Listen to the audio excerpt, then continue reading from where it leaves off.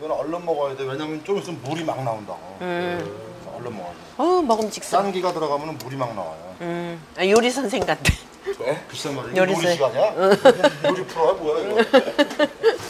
자, 다음 주자는 쌉쌀한 맛이 일품인 호박잎. 이건 사실은 냉장고에다가 여기다 넣어. 넣어서 식혀갖고 먹으면 더 맛있는데. 아주 신선해 보이네요. 이야, 이 호박잎 보기만 해도 침 넘어가네. 텃밭에서 걷어온 유기농 채소에 남편의 애정이 듬뿍 담긴 반찬들까지 건강 밥상 인정. 주로 가볍게 채소를 채소 위주로 많이 먹어요. 그래서 이 밥상이 뭔지 아세요? 밥상 이름이 그린필스. Once they were green fields kissed by the sun.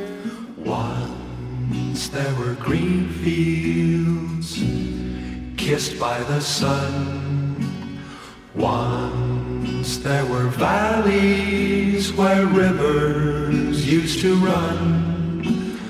Once there were blue skies with white clouds. 채소 위주의 식습관 김혜경의 건강에는 어떤 도움이 될까? 김혜경 씨의 채소를 드시는 식습관은 굉장히 좋으신 식습관입니다. 채소에는 비타민과 미네랄이 굉장히 풍부하게 들어있고 또 채소의 풍부한 칼륨 성분은 몸에 과다하게 쌓인 나트륨 성분의 배출을 도와서 부종이나 비만을 예방할 수 있습니다.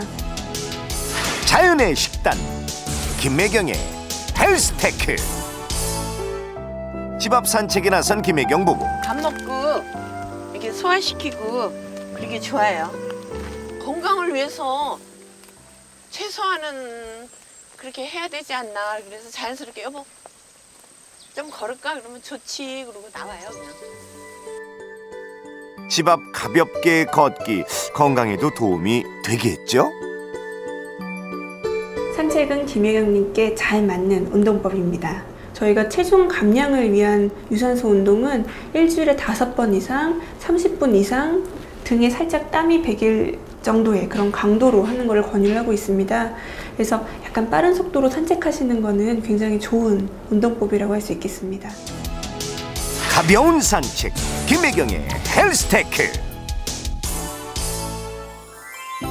자 이제 제법 선선한 바람이 부는 저녁 시간 결혼 7년 차에도 아직 연애하는 기분이라는 김혜경 부부는 분위기 있는 야외 저녁 식사를 자주 즐긴다고요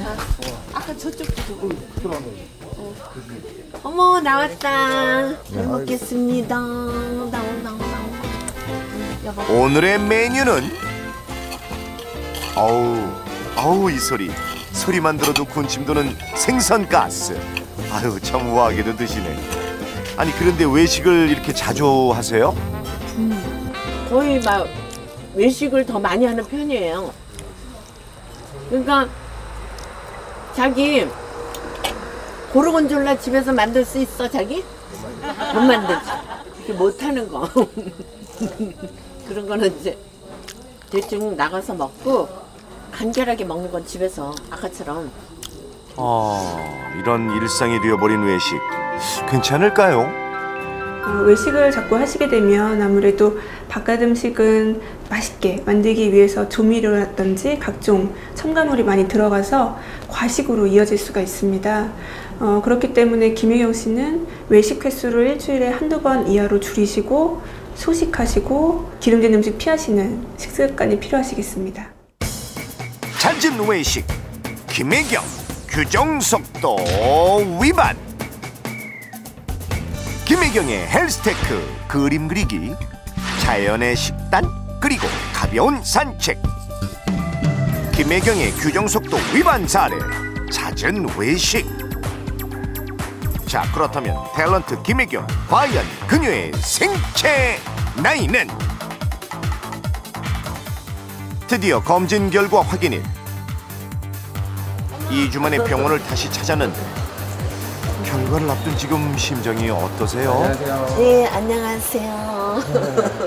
느낌에는 어, 썩 잘 나올 것 같지도 않고 나쁘게 나올 것 같지도 않고 그냥 어우 다행이다 이렇게 나올 것 같은 느낌이 들어요. 건강한 생활을 해온 김혜경. 목소리는